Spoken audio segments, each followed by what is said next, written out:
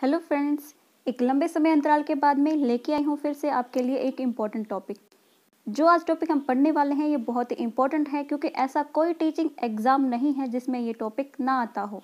चाहे आपका वो किसी भी लेवल का टेट हो, किसी भी स्टेट का टेट हो, चाहे आपका डी ट्रिपल्स भी हो या फिर आपका यू जी नेट ही क्यों ना हो, हर टीचिंग एग्ज़ाम में ये टॉपिक आता ही आता है. तो चलिए ज़्यादा देर ना करते हुए शुरू करते हैं अपने आज के लेक्चर को. मैं मंजीत कौर और स्वागत है आपका अपने यूट्यूब चैनल जिसका नाम है हेल्प योर सेल्फ तो आज हम पढ़ने वाले हैं अटेंशन तो लेक्चर को शुरू करने से पहले आपसे एक रिक्वेस्ट है, अगर आप इस चैनल पर नए हैं तो चैनल को सब्सक्राइब करना ना भूलें और वीडियो को लाइक ज़रूर करें। तो आज हम पढ़ने वाले हैं अटेंशन के बारे में। अटेंशन हमारी नॉर्मल लैंग्वेज में हम क्या कह देते हैं? किसी चीज़ को देखना, किसी चीज़ की तरफ़ देखना लंबे समय तक या फिर जो आपको पसंद आती है। ऐसी चीज़ को देखते रहना, फिर हम कहते हैं कि हमारा ध्यान इसकी तरफ़ है। और कई बार हम नॉर्मल लैंग्वेज ये भी कह देते हैं कि हमारा कंसंट्रेशन ही अटेंशन होता है। अटेंशन को हिंदी में कहा जाता है ध्यान। क्या कहा जाता है? हिंदी में इसे कहा जाता है ध्यान। तो ध्यान क्या होता है? कई बार हम कहते हैं कि हमारा पढ़ाई पे ध्यान नहीं लग रहा, हमारा कंसंट्रेशन नहीं बन रहा। दोनों ही वर्ड हम यूज़ करते हैं। हिंदी में हम कह देते हैं, हमारा ध्यान नहीं लग रहा। हम इंग्लिश में कह देते हैं, हमारा कंसल्टेशन नहीं बन रहा। तो हम दोनों को एक ही चीज़ से मानते हैं, जबकि ध्यान को इंग्लिश में कहा जाता है अटेंशन तो हम यही वर्ड क्यों यूज़ करते हैं? तो चलिए इसको देखते हैं आगे कि साइकोलॉजी में अटेंशन का क्या मीनिंग होता है। तो यहाँ पर देखिए, आपको दिखाया गया है stimulus generally attention is the ability to actively process specific stimuli stimulus in the environment while turning out other details तो यहाँ पर देखिए, कहा जाता है कि आपके एनवायरमेंट यानी कि आपके चारों तरफ़ जो भी चीज़ें हैं, उनमें से आपका सबके ऊपर ध्यान नहीं जाता, कुछ ही चीज़ों के ऊपर ध्यान जाता है। कैसे जाता है कि हमें देखो, यहाँ पे बात करेंगे स्टूमलस के बारे में। स्टूमली और स्टूमलस दो वर्ड दिए गए हैं। तो पहले मैं आपको बता दूँ कि स्टूमलस क्या होता है।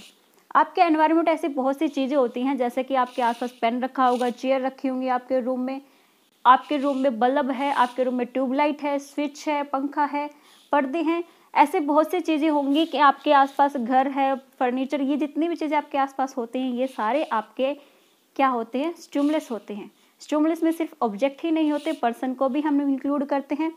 मतलब हमारे आसपास कुछ भी होता है, वो कहलाता है स्टूमलेस तो किसी स्टूमलेस को देखते रहना क्या होता है? अटेंशन होता है। और वो अटेंशन हम कब पे करते हैं, कब हम देख पाते हैं, जब हमें कोई चीज़ अट्रैक्टिव लगती है, जब हमें उस चीज़ की ज़रूरत होती है। तो यहाँ पर कहा गया है कि हम अपनी डिज़ायर और नीड के अकॉर्डिंग कुछ खास खास स्टूमलेस को चुन लेते हैं और फिर हम उनके प्रति या उनके रिगार्डिंग उनके लिए हम फिर क्या करते हैं रिस्पॉन्स करते हैं। तो जब हम किसी स्टूमलेस के द्वारा या किसी स्टूमलेस को देखकर हम कुछ ना कुछ प्रतिक्रिया करते हैं, कुछ ना कुछ रिस्पॉन्स देते हैं तो वो क्या कहलाता है? अटेंशन कहलाता है। तो इस सिलेक्टिव प्रोसेस को ही साइकोलॉजी में अटेंशन कहा जाता है। तो यहाँ पर देखिए आपको तीन फूल, तीन फ्लावर काफ़ी सुंदर सुंदर से दिखाई दे रहे हैं। अपने आप में ये तीनों की तीनों बहुत ही सुंदर हैं। लेकिन अगर मैं कहूँ कि आपको इन तीनों में से कौन सा फ्लावर पहले सबसे पहले आपका ध्यान किस पे जाता है? तो ऑफकोर्स आप कहेंगे कि वाइट के ऊपर हमारा ध्यान पहले गया। क्यों गया? इसके बारे में देखिए यार, हम देखते हैं कि जो बाकी दो फूल हैं हमारे पास में, वो कैसे कलर के हैं? उनमें देखो कॉमन चीज़ें क्या हो गई? एक तो वो रेड है बैकग्राउंड उनका ग्रीन है, और एकदम से हमारा ध्यान वाइट वाले पे क्यों गया? क्योंकि ये इन दोनों से थोड़ा यूनिक है। अट्रैक्टिव लगा, इसलिए हमारा ध्यान इसके ऊपर गया। तो, ये तो हो गया कि अटेंशन क्या होता है? इसकी डेफिनेशन हम देख लेते हैं ताकि अच्छे से हमें और समझ में आ जाए कि अटेंशन क्या होता है। यहाँ पर देखिए मैटलिन ने कोग्निशन बुक में कहा है 1983 में पेज नंबर 109 यहाँ पे कहते हैं मैटलिन जी कि attention is consultation of mental यहाँ पे कंसल्टेशन नहीं आएगा यहाँ पर ये आएगा मेंटल एक्टिविटी क्या आएगा? मेंटल एक्टिविटी कंसल्टेशन की जगह पे यहाँ पे आएगा एक्टिविटी यानी कि मैटलिन कहते हैं कि अटेंशन एक कंसल्टेशन ऑफ़ मेंटल एक्टिविटी है। जब आप किसी चीज़ पर कॉन्शियस होकर ध्यान केंद्रित कर पाते, जब आप क्या अभी हमने एक बात करी थी कि हम पढ़ाई पर ध्यान नहीं दे पा रहे और इंग्लिश में हम कहते हैं कि हम कंसंट्रेशन नहीं बना पा रहे।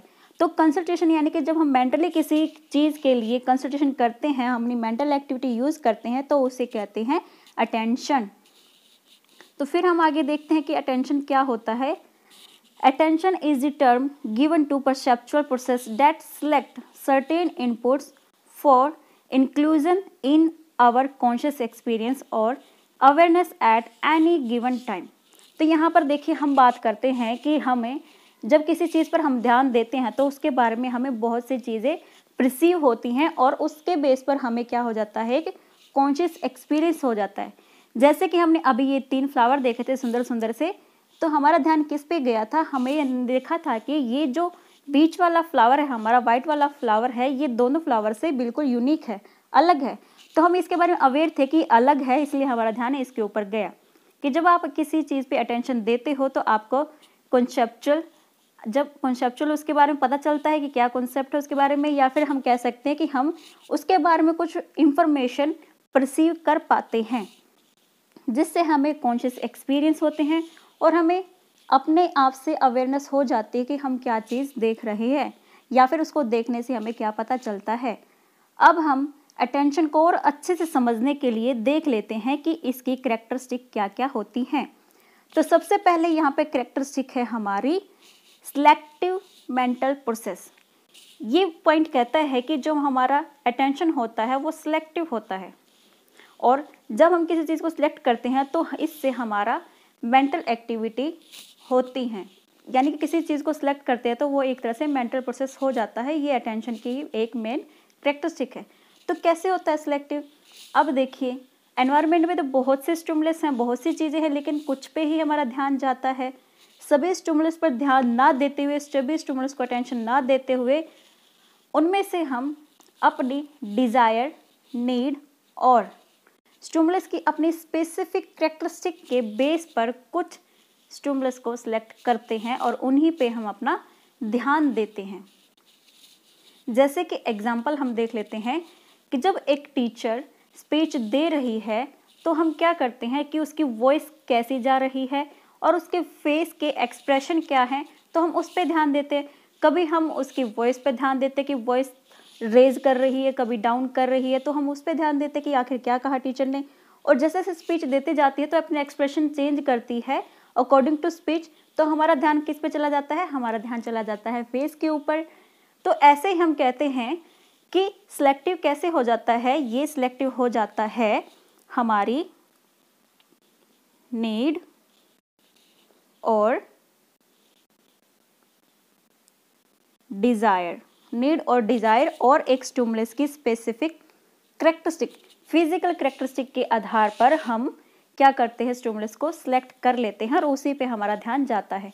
जैसे कि आपको मान लीजिए आप कहीं जा रहे हो, किसी रोड से जा रहे हो, आपको बहुत ज़ोरों से प्यास लगी है तो आपका ध्यान कहाँ पे जाएगा, जहाँ पे पानी मिल सकता है, आपका ध्यान अंदर अभी चल रहा है, दिमाग में मेंटल प्रोसेस हो रहा है कि आपको प्यास लगे तो आपको पानी कहाँ कहाँ पे मिल सकता है। किसी टैप के ऊपर, किसी होटल में, किसी शॉप पे तो आप जा जाते देखते हो कि कहाँ पे शॉप आएगी, कहाँ पे बस रुकेगी, कहाँ पे हम गाड़ी को रोक सकते हैं जहाँ से हमें पानी मिले। तो जैसे जैसे आपको कोई ढाबा दिखता है कोई होटल दिखता है कोई आपको शॉप दिखाई देती है जहाँ से आपको पानी मिल सकता है तो आपका ध्यान वही होता है। जैसे कोई शॉप आती है पानी की तो आप कहते हैं, रोको, मेरे को पानी पीना है। तो आपको उस टाइम पे आपकी नीड क्या थी? पानी की थी। और आपकी इच्छा थी, आपकी डिज़ायर थी कि आपको पानी ही पीना है। तो आपने सिर्फ़ और सिर्फ़ पानी मिल सकता है, ऐसी शॉप को ही अटेंशन में रखा, बाकी को आपने अलग कर दिया। फिर आपने और कोई शॉप नहीं देखी, खाना कहाँ मिला आपने नहीं देखा, आपने क्या देखा कि मुझे पानी कहाँ मिल सकता है? तो ये हो जाता है एक तरह से सिलेक्टिव मेंटल प्रोसेस यानी कि हम किसको सिलेक्ट करते हैं? हम उन्हें सिलेक्ट करते हैं जो हमारी डिज़ायर नीड और एक्सट्रोमलिस की अपनी करेक्टरिस्टिक फ़िज़िकल करेक्टरिस्टिक होती है। जैसा कि अभी अभी हमने ऊपर देखे थे, ये तीन फूल देखे थे तो इन तीनों में से हमारा ध्यान गया था वाइट वाले फूल पर। तो ये व्हाइट वाले फूल की अपनी करेक्टरिस्टिक थी कि इसका कलर यूनिक था और ये सुंदर अट्रैक्टिव दिख रहा है, इसलिए हमारा ध्यान इसके ऊपर गया। तो इसलिए हमारा ये पॉइंट बिल्कुल ही क्लियर हो गया है कि अटेंशन क्या होता है? सिलेक्टिव होता है।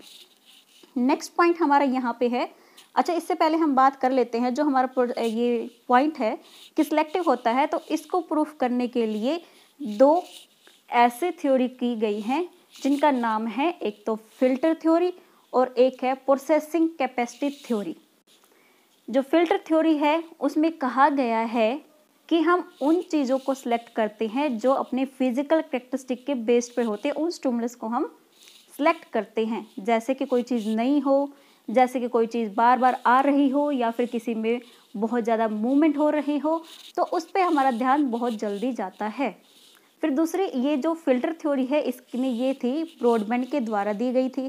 सेकेंड हम थ्योरी की बात करी है प्रोसेसिंग कैपेसिटी थ्योरी ये क्या कहती है? ये थ्योरी कहती है कि हमें एक स्टूमुलस को, या बहुत सारे स्टूमुलस होते हैं तो हम बहुत सारे स्टूमुलस कुछ ही सिलेक्ट कर पाते हैं, क्योंकि हमारी अटेंशन की जो लिमिटेशन होती है, जो कैपेसिटी होती है, बहुत ही लिमिटेड होती है। यानी कि हम बहुत सारी चीज़ों पर एक साथ ध्यान नहीं दे पाते, हम कुछ ही सिलेक्टिव चीज़ों को ध्यान देख पाते क्योंकि हमारी कैपेसिटी लिमिटेड होती है।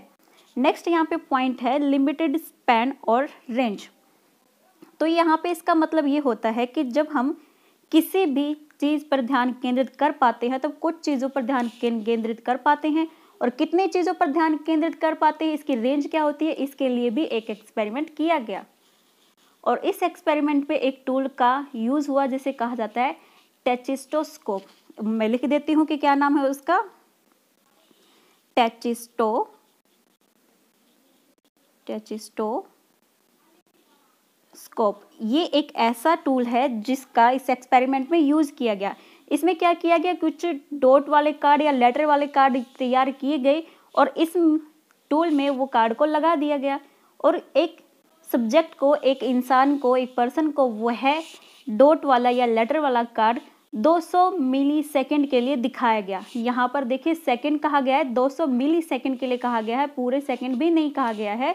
तो इतनी देर के लिए दिखाया गया, फिर उसे पूछा गया कि आपको कितने डॉट या कितने कलर दिखाई दिए हैं? तो वहाँ पर देखा गया कि मैक्सिमम कितने देखे गए? मैक्सिमम वहाँ पे नौ और मिनिमम वहाँ पे सात डॉट देखे गए। तो इसके लिए इसकी रेंज डिसाइड हो जाती है सेवन प्लस माइनस टू। यानी कि हम मिनिमम कितने देख पाएँगे? सेवन और मैक्सिमम नाइन।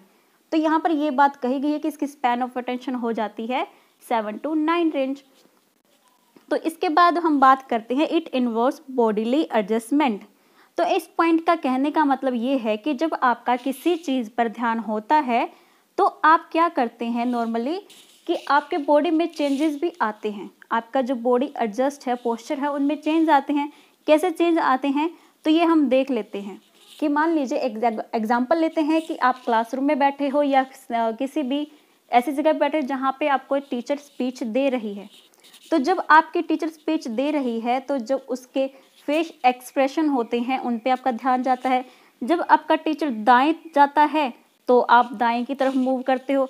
जब आपका टीचर दूसरी तरफ़ जाता है तो वहाँ भी आप मूव करते हो। और जब आपका टीचर क्लास में पीछे की तरफ़ जाएगा तो वैसे वैसे आप पीछे की तरफ़ मूव हो जाओगे। यानी कि आपके देखिए बॉडी में चेंजेस आ रहे हैं। और कभी कभी आप बोर हो जाते तो कभी टेबल पे हाथ रखते हो, कभी आप नीचे हाथ रखते हो। यानी कि अटेंशन जब हम किसी चीज़ पर फोकस करते हैं तो हमारे बॉडी में बहुत से चेंजेस आते हैं। हमारी बॉडी बार बार एडजस्ट होती रहती है। तो इसलिए कहा गया है कि अटेंशन में बॉडीली एडजस्टमेंट भी होती है। कभी आप चेयर को सरकाओगे, कभी आप हाथ पीछे लेके जाओगे, कभी आप टेबल पे हाथ रखोगे। टीचर अगर क्लास में पीछे की तरफ़ जा रहा है तो आप पीछे की तरफ़ जाओगे। जो ये चेंजेस हो रहे हैं, वो आपके बॉडी एडजस्टमेंट के लिए हो रहे हैं। नेक्स्ट पॉइंट यहाँ पे आ रहा है। It has property of in fluctuation and shifting अब इसका क्या मतलब है यहाँ पे?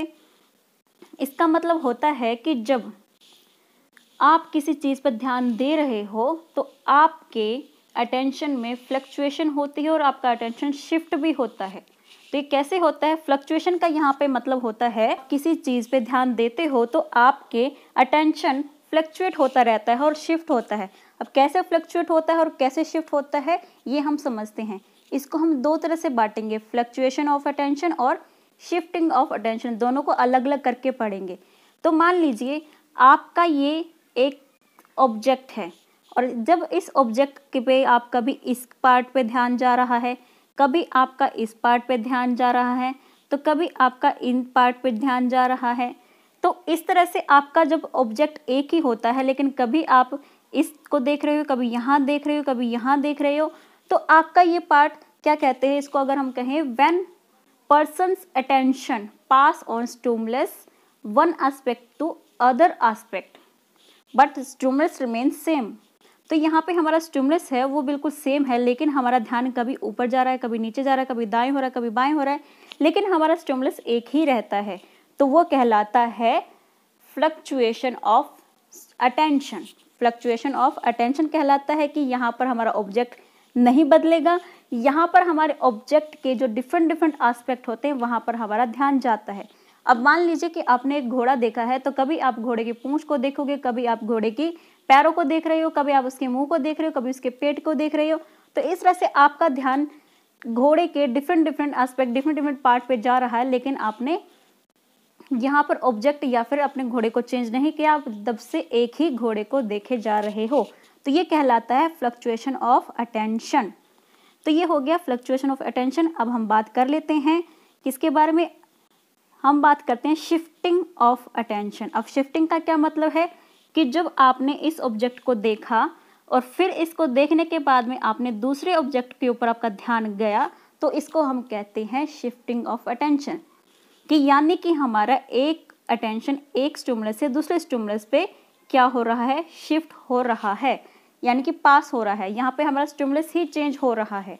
जैसे कि पहले आपने व्हाइट घोड़े को देखा, फिर आप किसी ब्राउन घोड़े को देखते हो तो दोनों से व्हाइट से आपका जब ब्राउन घोड़े पर ध्यान गया तो वहाँ पे कहलाएँगे शिफ्टिंग ऑफ़ अटेंशन तो ये होता है शिफ्टिंग और फ्लक्चुएशन दोनों में डिफरेंस हमने जान लिया है तो इसमें हम कंफ्यूज नहीं होंगे। एक बार फिर से देख लेते हैं कि जब हमारा शिफ्टिंग होता है तो एक ऑब्जेक्ट से दूसरे ऑब्जेक्ट पर, यानी कि एक स्टूमुलस से दूसरे स्टूमुलस पर अटेंशन पास होता है और जब फ्लक्चुएशन होता है तो स्टूमुलस सेम रहता है, लेकिन पार्ट में डिफरेंट डिफरेंट पार्ट में हमारा ध्यान जाता रहता है। तब ये कहते हैं कि एक ही स्टूमुलस में हम घूमते रहते हैं तो वो होता है फ्लक्चुएशन और जब हम एक स्टूमुलस से दूसरे स्टूमुलस पर टोटली चले जाते हैं तो उसे हम कहते हैं शिफ्टिंग तो आई थिंक आपको ये पॉइंट क्लियर हो गया होगा। इसके बाद हम देखते हैं it involve state of readiness and responsiveness तो जब हम किसी चीज़ पर ध्यान केंद्रित कर पाते हैं तो पहली बात तो हम तैयार हैं किसी चीज़ के ऊपर ध्यान देने के लिए। ये अटेंशन कहता है। दूसरा हम किसी चीज़ को ध्यान से देख रहे हैं तो हम तैयार हैं उसके बारे में रिस्पॉन्स करने के लिए। अब आपने स्टार्टिंग में तीन फूल देखे थे।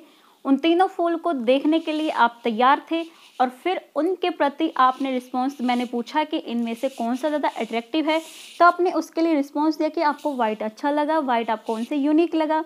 तो इसी तरह से अटेंशन कहता है कि आप अटेंशन में रेडीनेस इन्वॉल्व होती है और उस ऑब्जेक्ट के लिए, उस स्टिमुलस के लिए आप प्रतिक्रिया रिस्पॉन्स देने के लिए भी रिस्पॉन्सिवनेस आपके अंदर होती है। तो ये यहाँ पर होगी करेक्टरिस्टिक कौन कौन सी करेक्टरिस्टिक हमने पढ़ी? एक स्टोमलस सिलेक्टिव होता है।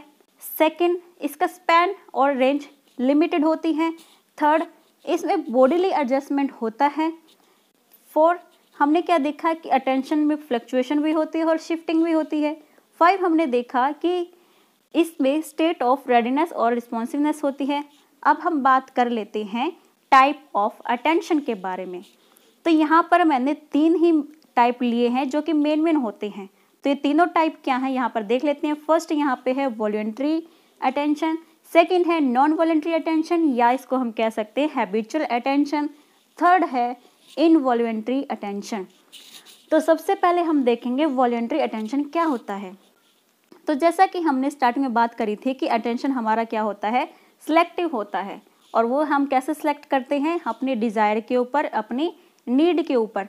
तो वॉलेंट्री होता है कि जब आप चाहते हो किसी चीज़ पे अटेंशन करना, जब आपको चीज़ की ज़रूरत है, कमी है तो आपकी इच्छा हो जाती है, आपके डिज़ायर हो जाती है। खुद की इच्छा से, खुद की डिज़ायर से आप किसी चीज़ पे ध्यान देते हो, किसी चीज़ पे फोकस करते हो तो वो आपका बनता है वॉलेंट्री अटेंशन जैसे कि आप अब किसी एग्ज़ाम की तैयारी कर रहे हो, मान लीजिए आपने नेट की तैयारी कर रहे हो, या फिर आप सी टेट की तैयारी कर रहे हो, या किसी भी फर्दर टेट की तैयारी कर रहे हो तो आपका क्या ध्यान जाता है? जहाँ जहाँ पे आपका टेट लिखा मिलेगा सी टेट लिखा मिलेगा नेट में लिखा मिलेगा, कहने का मतलब जिस भी एग्ज़ाम की आप तैयारी कर रहे हो, वो अगर आपको कहीं भी लिखा मिल गया तो आपका ध्यान वहीं पे ही जाता है।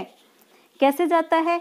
क्योंकि आप चाहते हो, आपके दिमाग में आपने एम बना लिया है कि हमें ये क्वालिफाई करना ही करना है। तो इस तरह से हम कहते हैं वॉलेंट्री अटेंशन हो जाता है कि जहाँ आप ध्यान केंद्रित करना चाहते हो, वो होता है वॉलेंट्री अटेंशन वॉलेंट्री अटेंशन के बाद में हम बात करते हैं नॉन वॉलेंट्री अटेंशन एंड इसको हम कह सकते हैं हैबिचुअल अटेंशन तो ध्यान दीजिएगा, बहुत सारी आपकी लाइफ में ऐसी चीज़ होंगी जो आपकी हैबिट बन चुकी हैं। जैसे कि आपने जब स्टार्टिंग में साइकिल चलाना सीखा था तो आपका ध्यान कभी जा रहा था? कभी साइकिल के हैंडल पे जा रहा था? कभी हमारा ध्यान पैडल पे जा रहा था? तो कभी हम टायर को देख रहे थे कि कहाँ कहाँ घूम रहा है? तो स्टार्टिंग में हमारा ध्यान ऐसे ऐसे भटक रहा था। लेकिन जैसे जैसे हमने साइकिल सीखी तो हमें आदत हो गई, हम साइकिल अच्छे से चला पाते थे, वो हमारी हैबिट में आ गया। अब हम साइकिल पे या रोड पे किसी भी चीज़ को हम देखें या ना देखें तो हम अच्छे से साइकिल चला पाते हैं। अब हमें हैंडल हम नहीं देखते कि कैसे जा रहा है। हमारा ध्यान रोड पे होता है और हमारा हैंडल बिल्कुल बैलेंस रहता है। और हमें पैडल की हमें हैबिट हो जाती है कि पैडल हमारे अपने आप लगते जाते हैं। तो इसको कहते हैं हैबिचुअल अटेंशन कि एक लंबे, थोड़े से टाइम कर करने के बाद में ऐसी चीज़ें जो आपके हैबिट में इन्वॉल्व हो जाती हैं तो उसे हम कहते हैं हैबिचुअल अटेंशन। फिर हम बात करते हैं यहाँ पर तो तीसरा पॉइंट हमारा यहाँ पर है इनवॉल्ट्री अटेंशन ये एक ऐसा इंटेंशन है जो वॉल्ट्री से बिल्कुल उल्ट होता है, जैसा कि नाम से ही पता चल रहा है हमें। वॉल्ट्री अटेंशन जिसपे हमारी खुद की डिज़ायर होती है, खुद की मर्ज़ी होती है। वॉल्ट्री अटेंशन होता है कि जब हमारा ध्यान ना हो, लेकिन फिर भी हमारा ध्यान चला जाता है।